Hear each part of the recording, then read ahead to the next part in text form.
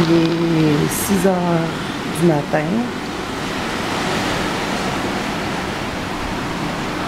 Tout le monde dort. à part peut-être moi. Puis le petit monsieur qui marche là. Et le petit monsieur et la petite madame là-bas.